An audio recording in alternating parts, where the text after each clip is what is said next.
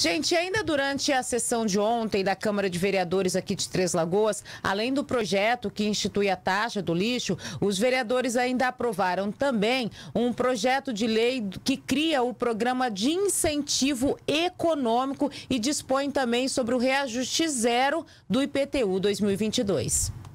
Ainda durante a sessão nesta segunda-feira, os vereadores também aprovaram um projeto que concederá benefícios fiscais para empresas e também para os moradores de um modo geral.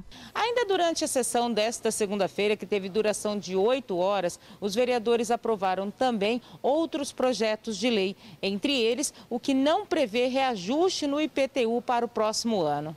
O líder do prefeito na Câmara, vereador Tonhão, falou da aprovação desses projetos de benefícios fiscais. Cinco projetos fazem parte do programa Fortalece Três Lagoas, que foi construído a várias mãos, inclusive contando com o apoio nosso aqui, vereadores da base.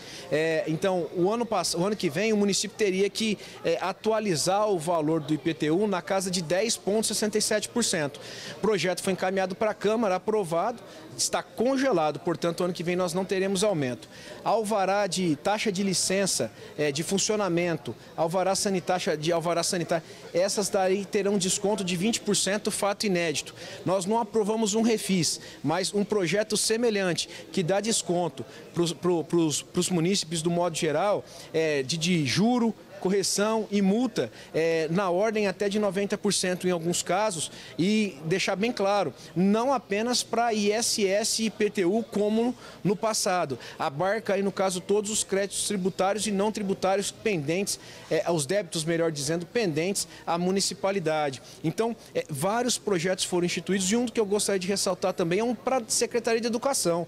Nós estamos agora alterando instituindo vale alimentação para os servidores, para os técnicos administrativos administrativos da educação. Só os professores que não foram abrigados por isso. E essa medida impacta 800 servidores da Secretaria de Educação e Cultura. Hoje foram 23 projetos. Nós começamos 8 e meia da manhã, agora são 3 e meia da tarde. Estamos encerrando agora essa sessão ordinária. Vários projetos passaram por aqui, foram importantes. Depois a gente pode discutir pormenorizadamente cada um desses projetos, mas a gente fica feliz e eu quero agradecer o apoio dos 14 vereadores da base que votaram em uníssono em todos os projetos. Teve três vereadores aqui que são considerados independentes ou da oposição que se manifestaram contra alguns projetos, mas é o direito deles. O outro que foi aprovado também é o que regulamenta a questão da cobrança dos tributos por meio de PIX. Perfeitamente. A prefeitura, pensando já na modernização, na era que nós estamos vendo digital, permite é, que o contribuinte faça o pagamento via PIX.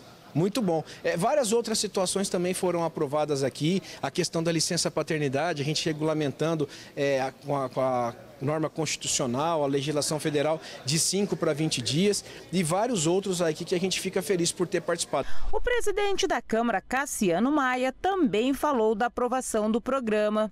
Realmente, nós tivemos hoje a apresentação de um programa muito eficiente do nosso prefeito Ângelo Guerreiro, que é o Fortalece Três Lagoas, onde esse projeto teve o principal objetivo é a preservação da economia local nesse momento pós-pandemia Covid-19 e isso foi fundamental para o nosso município, é um resgate da economia, é um auxílio ao comércio do nosso município e às pessoas, aos empresários do nosso município. Tenho certeza que isso vai contribuir muito, temos aí o não aumento do IPTU, temos descontos de ISS, temos reprogramações de dívidas, regularização de imóveis. E com isso é mais um passo que o prefeito Ângelo Guerreiro dá no avanço de ajudar as pessoas e a todos nós aqui em Três Lagoas.